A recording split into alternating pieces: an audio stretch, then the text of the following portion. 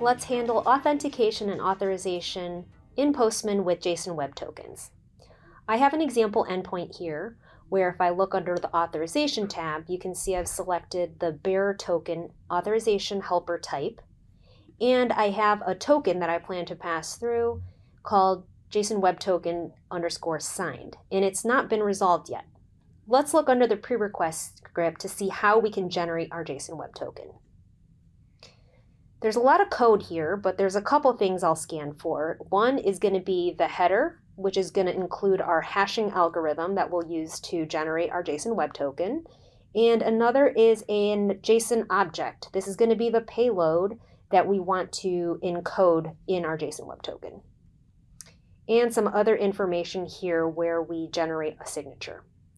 The very last two steps of code is one, I'm going to be creating an environment variable called JSON Web Token signed. Again, we haven't hit send yet, so we haven't initialized this variable that we are going to be referencing under the authorization tab.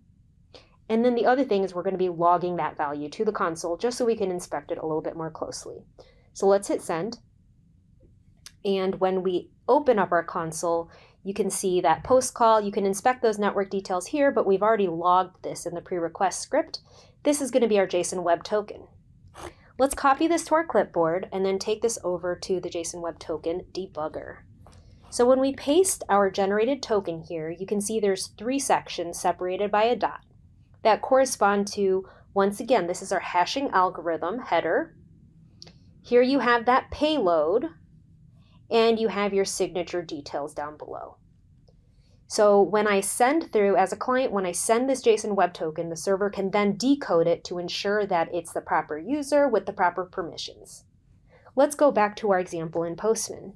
So that's how you can generate a web token using code. This is the code if you want to step through that in more detail. Let's see how to do it with a JSON Web Token helper in Postman. So this example is very similar, but under authorization, instead of selecting the type for bearer token, we'll select JSON Web Token space bearer. And you can see once again, there's options for configuring our token. Here's our hashing algorithm. We can select from a few different options. We can include a secret. We can decide whether or not we want to encode it. And then here's a different payload that we'll be sending. And we've configured this to add the JSON Web Token to our request header. And we don't actually even need to send it. Postman has already generated this for us based on our configuration details. Under header, if you scroll to the top, you can see these auto-generated headers here. And there is one header called authorization with bearer space, and then here's our token. And if we copy this token to our clipboard and head back over to our debugger, you can see those three sections with the hashing algorithm, our payload, that we configured under the authorization tab and signature details. So there's a couple more options here. Let's go back under the authorization tab. Remember, we added the JSON Web Token to the request header, but we can also add it to query params if we wanted to. And all these other options here, this is that payload that was decoded in the debugger. A couple more advanced configuration options.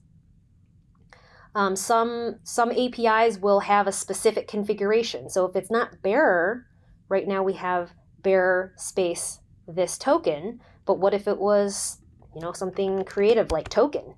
You can configure those options here, and when you go back over to header, you can see that Postman is just following your configuration details.